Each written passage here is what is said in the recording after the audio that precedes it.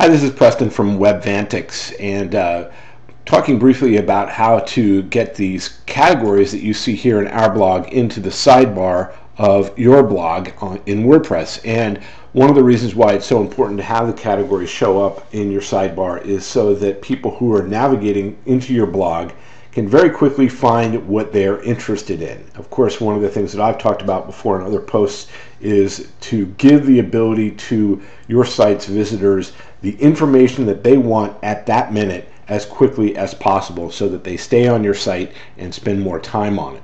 So we're going to take a look actually at a site that we developed called springfieldchefs.com and as you can see here, this is their blog page and they haven't gotten their categories up yet. So what we're going to do is we're going to go back into their dashboard and I'm going to show you how to do it very quickly. The sidebar is controlled under the Appearance tab and the link for widgets. Widgets are essentially tools that show up in your sidebar. And they come pre-populated with some of the widgets that are available. A lot of a lot of them are available to add in as plugins but some are very basic and come with WordPress. One of them is categories. So very very simply all you have to do is you mouse over categories and you can take it and drop it right into wherever you want it. So effectively you can drop it uh, right up here under the search tab if you'd like and there you go. And as you can see there are other widgets that can be dropped into place as well. For instance like a tag cloud can go in and you can put it right wherever it is that you want it. And that's very simple just to take it drag it drop it and that's it.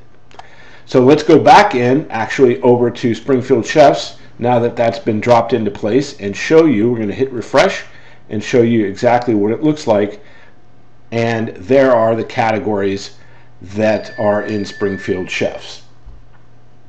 One of the things that's also very important in regards to categories and why you should create them is SEO. Search engine optimization is key for any website, of course. And one of the things that is what I like to call low hanging fruit in SEO is if you have a blog and use WordPress, it's very easy to create categories. And each one of those categories that you create is going to be looked upon as a keyword by Google.